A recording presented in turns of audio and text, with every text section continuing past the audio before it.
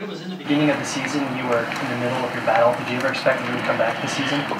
Um, I always wanted um, just to work as hard as I can, and I know that it may have not seemed like I was ready to play, but I just knew that I couldn't follow my plan. I had to follow God's plan for me, and so it just you never know what God's plan is, so you just have to keep going harder and harder every day, and just to do the um, things necessary to get to this point.